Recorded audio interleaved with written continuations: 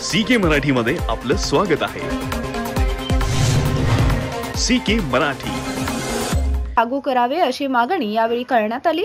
सरकारकडून याबाबत तातडीने कार्यवाही न झाल्यास विधान भवनावर धडक देण्याचा निर्धार यावेळी जाहीर करण्यात आला. सांगलीच्या जिल्हाधिकारी कार्यालयावर ओबीसी हक्क परिषदेच्या वतीने सर्वपक्षीय मोर्चा काढण्यात आला. त्यानंतर या मोर्चाच्या माध्यमातून सहभागी झालेल्या अनेक ओबीसी समाजातील कार्यकर्त्यांनी मुंडन करत राज्य सरकारच्या ओबीसी आरक्षण धोरणाचा निषेध नोंदवला आहे.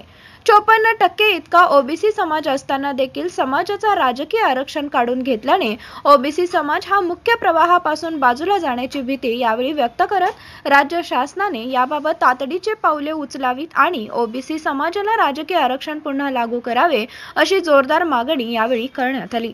सी के मराठी न्यूज मुख्य संपादक चंद्रकांत खरात सांगली.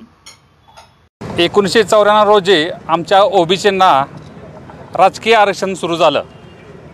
त्याच्या अगोदरची परिस्थिती अशी होती की छत्रपती शिवाजी महाराजांच्या काळात जो सन्मान आम्हाला आमच्या समाजाला मिळाला तोच सन्मान आम्हाला मिळायला पुढची जवळजवळ तीनशे वर्षे लागली. आणि तो सन्मान आम्हाला राजकीय आरक्षणामुळेच मिळाला. कारण आमच्यातला माणूस जाती व्यवस्थेत इतका अडकला होता स्वातंत्र्यपूर्व काळाच्या अगोदर तो बाहेर पडायचं काम सगळ्यात महत्त्वाचं कुणी केलं असेल तर ह्या राजकीय आरक्षणानं केलं आम्हाला. तर या राजकीय आरक्षणातनं आमच्या समाजाला मुख्य प्रवाहात याला संधी मिळाली. मुख्य प्रवाहात संधी याची मिळाल्यामुळं समाजातल्या बाकीच्या घटकाबरोबर बसायची संधी मिळाली. त्यांच्या खांद्याला खांदा लावून काम करायची संधी मिळाली.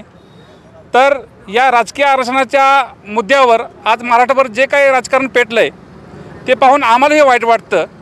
कारण सगळेच पक्ष म्हणतात की आमची ओबीसीला राजकीय आरक्षण मिळण्याबद्दल काहीच अडचण नाही.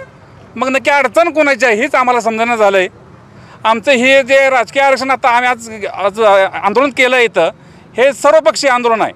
ह्यात सर्वसामान्य माणसं सर्वसामान्य ओबीसी समाजाची माणसं ज्यांना राजकारणातला थोडाफार गंध असेल नसेल पण ह्या सगळ्या माणसाचं एकच म्हणणं आहे की बाबानो आपण चोपन्न टक्के असतानासुद्धा आपल्याला जर हे राजकीय आरक्षण मिळत नसेल एक तर आमच्या समाजाला ना आमदारकीसाठी राखीव जागा ना खासदारकीसाठी राखीव जागा. फक्त चोपन्न टक्के समाज असताना सुद्धा आम्हाला फक्त स्थानिक स्वराज्य संस्थेतून मोजलं जातं. तर आमची अशी विनंती आहे राज्य शासनाला आज तुम्ही सत्ताधारी आहे म्हणून आम्हाला तुमची तुमच्याकडे आम्हाला विनंती करायची आहे की बाबांनो तुम्ही आमचं राजकीय आरक्षण आहे ते पूर्ववत करा. तुमचं राजकारण एक एक एक वेळ थोडं बाजूला ठेवा पण आमच्या ओबीसी समाजाच्या व्यथा समजून घ्या. येणाऱ्या पुढच्या निवडणुक्या या पुढच्या दोन तीन महिन्यात ज्या होणार आहेत कोर्टाने तुम्हाला ज्या सांगितलेत तीन अटी पूर्ण करण्यासाठी एक तर तुम्ही रा राज्य मागासवर्गीय आयोग नेमा. दुसरी अट आहे त्यांची की तुम्ही इम्पेरिकल डाटा कोर्टात सादर सादर करा आणि तुमचं जे मागासवर्गीय आपण मागासवर्गीय आहेत ते तुम्ही कोर्टात सिद्ध करा. तर आमचं राज्य शासनाला हेच म्हणणं आहे की तुम्ही आता राज्य मागासवर्गीय आयोग नेमला आहे तुमचं आता दुसरं काम असं राहिलं आहे की तुम्ही इम्पेरिकल डाटा तेवढा गोळा करा. आता तुमचा आणि केंद्र शासनाचा जो काही विषय आहे राजकारणाचा त्यात आम्हाला पडायचं नाही. आम्ही एक सामान्य माणसं आहे आम्ही सामान्य ओबीसी जनता आहे. आम्ही आमच्या हक्कासाठी रस्त्यावर आज आलो आहे जिल्हाधिकारी कलेक्टर ऑफिससमोर. उद्या आम्ही विधान भावनासुद्धा याला याला मागपुढे बघणार नाही. पुढचे पंधरा दिवस तुम्हाला सांगतोय पंधरा दिवसात आम्ही पुढचं बघणार आहे की तुमचा सुप्रीम कोर्टाचा निर्णय काय येतो आहे तुमच्या राज्य शासनाचा निर्णय काय होतोय.